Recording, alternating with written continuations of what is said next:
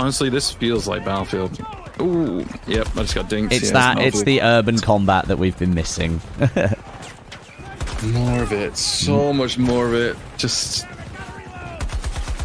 You know, in the past when we've been there discussing BF5 and whatever, they said, you know, urban maps are expensive, yeah. which is understandable. yeah. But if they did things like this, where they, they take one map and you know, mix things together. it, yeah, mix yeah, yeah. up, I, I can live with it.